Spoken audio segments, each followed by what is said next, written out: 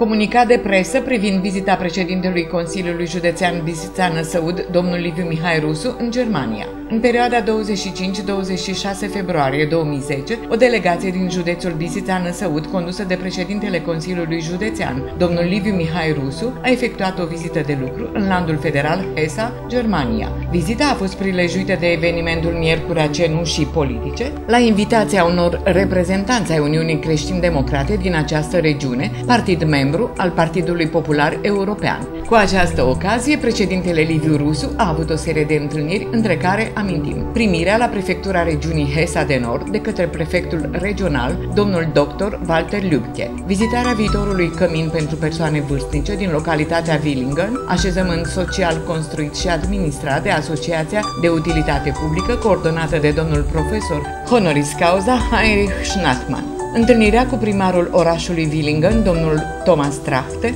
stațiune turistică intrată în circuitul de schi alpin mondial, urmată de o scurtă vizită la Consiliul Județean Kassel, județ partener al nostru. Discuțiile s-au axat pe continuarea colaborării cu partenerii noștri din zona Kassel, dar și pe identificarea unor proiecte nou ca cel de transferare de know-how turistic în vederea dezvoltării zonei Colibița după modelul Willingen. În seara zilei de 26 februarie 2010 a avut loc evenimentul Miercurea Cenușii Politice a Uniunii Creștin-Democrate din HESA, organizată în acest an sub genericul 20 de ani de unitate germană. Cu această ocazie, președintele Consiliului Județean Bistrița Năsăud a adresat un mesaj de salut primului ministru al landului HESA, domnul Roland Koch, și doamnei prim-ministru al landului Turingia, doamna Christine Liberhe, care au participat la eveniment.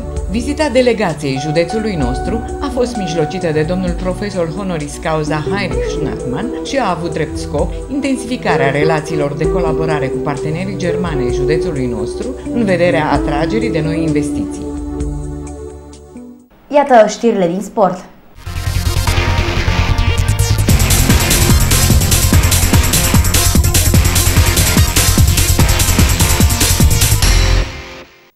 Gloria Bistrița a învins sâmbătă în etapa a treia a returului Ligii 1, formația Astra Ploiești cu scorul de 3 la 1 și a urcat pe locul 13 cu 21 de puncte înaintea meciului Pandurii Craiova, ce se dispută astăzi. Gloria a reușit cel mai bun meci de până acum în acest sezon. Acest lucru fiind confirmat și de antrenorul Astrei Nicolo Napoli. Jucătorii Gloriei antrenați de Marius Șumudică au reușit a doua victorie consecutivă după cea de la Alba Iulia și se îndepărtează încet de zona retrogradării. Din nou, brazilianul Moraes a fost omul meciului lui reușind să marcheze de două ori. Eu consider că a fost un joc și am făcut paranteza asta, fiindcă uh, nu mi se pare normal ca diferiți oameni și el adună om la fel. Nu mi se pare normal ca diferiți oameni și care trăiesc în fotbal să facă astfel de aprecieri și să uh, pună sub semnul întrebării o victorie clară a noastră.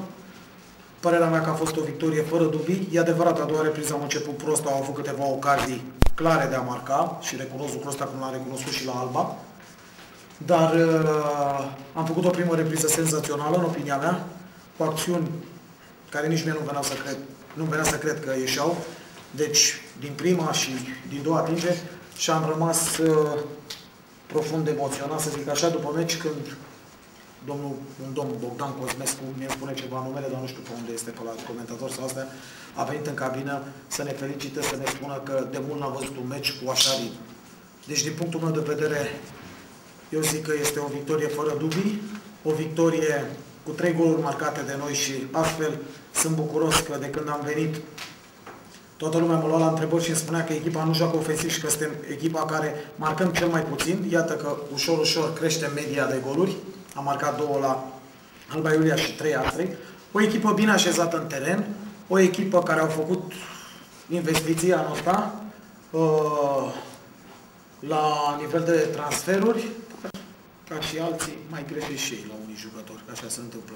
În etapa viitoare, Gloria va juca în deplasare la FC Vaslui, duminică 14 martie de la ora 16. Meciul este televizat.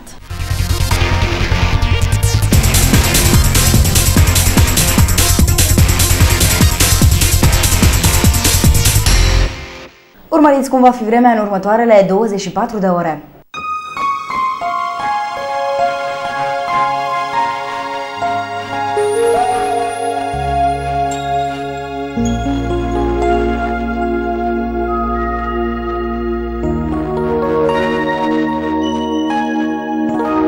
Vremea se menține deosebită de rece, cerul va fi temporar noros și izolat va ninge slab. Vântul va sufla slab la moderat cu unele intensificări în zona montană înaltă. Temperaturile minime vor fi cuprinse între minus 9 și minus 7 grade Celsius, iar cele maxime între 0 și 3 grade Celsius. Noaptea și dimineața în zonele joase vor fi condiții de ceață.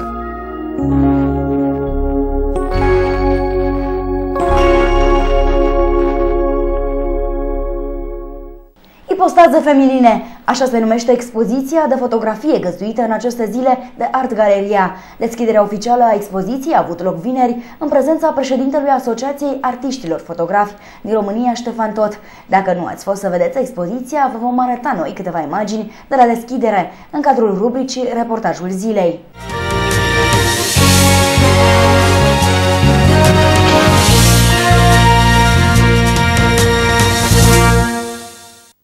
Șase împătimiți de fotografie ai fotoclubului AXA din cadrul Centrului Județean pentru Cultură au vrut ca de ziua femeii să surprindă frumusețea feminină cu ajutorul camerelor de fotografiat. Cele mai reușite poze au fost expuse în cadrul unei expoziții. Da, sunt toți din Bistrița. Uh, acum expun uh, șase fotografi. Uh, Robert Covaci, Tony Pal, Mihai Filipioa, Filipoaia, Nandi Jurghiuță, Paul Pop, cred că n-am uitat pe niciunul. Este o expoziție realizată special pentru Luna Femeii? Uh, da, este realizată în mod special pentru Luna Femeii. Uh, cum spunea, este organizată de instituția noastră și realizată de Asociația Fotoclub uh, AXA.